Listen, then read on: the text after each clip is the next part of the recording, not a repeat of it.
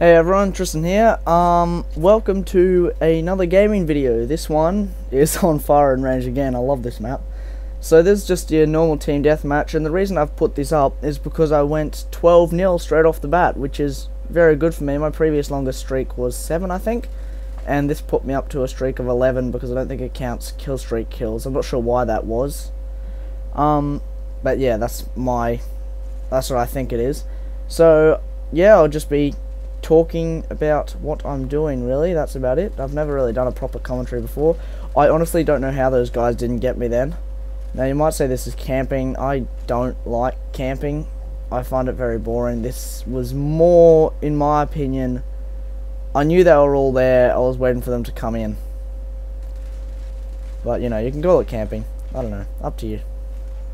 I'm still moving about. It's not like I'm sitting in a corner. Anyway, Call him a Cobra. There we go. It, they always seem to be terrible. I don't know why. I took a long break from Black Ops, and I remembered them being really good. Like, getting lots of kills when I got a Cobra, but I haven't been getting many at all. And that confused me. I thought I'd got him, but it was the Cobra. So I ran in and knifed him. Bloody camper. Got that guy, and then this was bad. I ran out of ammo. Somehow I got this guy with my last few shots. This one here. Uh, it was great how you could see the flashbang there, the, the guy dropped it before, and now you're all going to rewind and check to see if you can see the flashbang. So there you can see 12 0 there. I was pretty happy about that. The reason I didn't pick up his gun was he had shotguns, and yeah. Yeah, they're a little bit. Oh, I'm not good with them. And nothing like using a pistol when you're flashed. So I died, oh well. And so I didn't do as well for the rest of the match, but I feel like I did pretty well. I was glad I got a Rolling Thunder out of this care package, which I thought was pretty good. I was pretty happy with that. There we go. I didn't get many kills with it, which was a shame. But, you know, you get that. And that's actually, I think, the first one I've ever had. So that was exciting. I've had a few Hueys and whatnot, but generally I'm not very good. The only time I do very well is in... Well, I do alright in Search and Destroy, but I also do well in L96 only servers, because everyone has a sniper rifle, which is helpful. But, yeah, usually I'm not the greatest player, so I've been really enjoying this. Ever since I joined the clan though, I've been getting much, much better, which has been really wonderful. So just lob my old grenades in. I was glad even though I got killed by those guys, I still got the grenade kill. So yeah, this fella. Ghosty running around there being sneaky. Too many. I hate when there's more than one person on your screen, like split up like that, because you don't know who to shoot at. It's like having um a split when you're bowling. Really, really frustrating.